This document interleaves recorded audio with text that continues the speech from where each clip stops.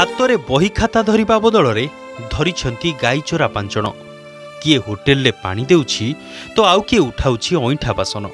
School କଲେଜରେ ବହି ବସ୍ତାନି ଧରିବା ବୟସରେ ମୁଣ୍ଡାଇଛନ୍ତି ପରିବାରର ବୋଝ।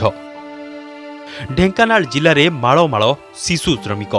କିଏ ଅଧାରୁ ପାଠ ଛାଡ଼ୁଛନ୍ତି ତ ଆଉ କିଏ ସ୍କୁଲ ମାଟି ମାଡ଼ି ନାହାନ୍ତି। ଶିକ୍ଷା ଅଭାବରୁ ଏମାନଙ୍କର ଏ ପରିସ୍ଥିତି। ଆପଣ ଯାହା ଦେଖୁଛନ୍ତି ତାହା ନିରାଟ ସତ କଥା। ପ୍ରକୃତରେ ଆମେ ମଧ୍ୟ ଦୀର୍ଘ ପଚାଶ ବର୍ଷ ଧରି ଏହାକୁ ଅନୁଭବ କରୁଛୁ। ଆମେ ଯେତେବେଳେ ଦେଖୁଛୁ ଯେ ପିଲାମାନେ ଯେଉଁ ସ୍କୁଲକୁ ଆସିବା କଥା ପଚାଶ ପରସେଣ୍ଟ ପିଲା ସ୍କୁଲକୁ ଆସୁନାହାନ୍ତି ଡ୍ରପ୍ ଆଉଟ୍ ରହୁଛନ୍ତି ସେମାନଙ୍କର ବାପା ମା କାହାର ନାହାନ୍ତି ସେମାନଙ୍କର ଘରରେ ଅନ୍ନ ଚିନ୍ତା ତାଙ୍କର ଚମତ୍କାର।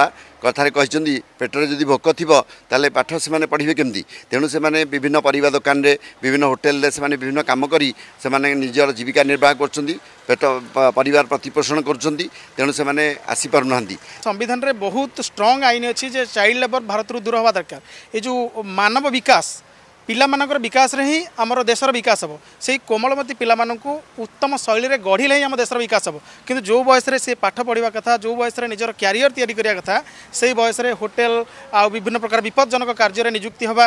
ତେଣୁ ଆମେ ସମ ସରକାରଙ୍କୁ ବିଶେଷ ଅନୁରୋଧ କରିବୁ ଯେ ଏ କାମ ସେ କରନ୍ତୁ।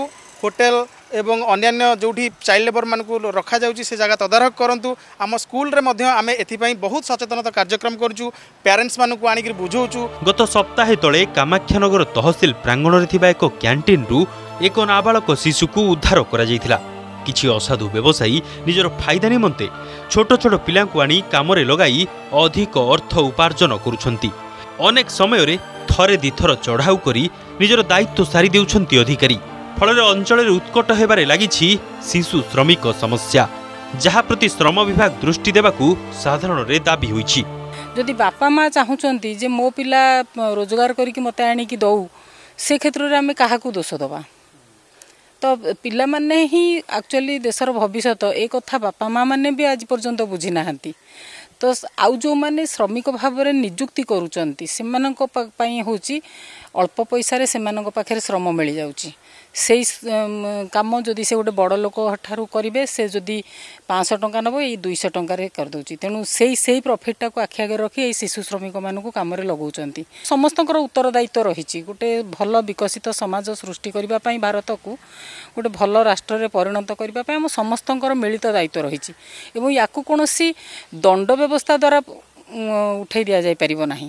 ଯଦି ପାରସ୍ପରିକ ଆଲୋଚନା ଏବଂ ବୁଝାମଣା ଭିତରେ ଉ- ଉଠାଯାଇପାରିବ ପାରିବ ଶିକ୍ଷା ଓ ସଚେତନତା ଅଭାବରୁ ଶିଶୁ ଶ୍ରମିକଙ୍କ ଏ ଅବସ୍ଥା କେବେ ଢେଙ୍କାନାଳ ଜିଲ୍ଲା ଶିଶୁ ଶ୍ରମିକ ମୁକ୍ତ ହେବ ତାହା ଦେଖିବାକୁ ବାକି ରହିଲା ଢେଙ୍କାନାଳରୁ କ୍ୟାମେରା ପର୍ସନ ସତ୍ୟଜିତ ସାହୁଙ୍କ ସହ ବିପ୍ଳବ ରାଉଳଙ୍କ ରିପୋର୍ଟ ଅର୍ଗସ୍ ନ୍ୟୁଜ୍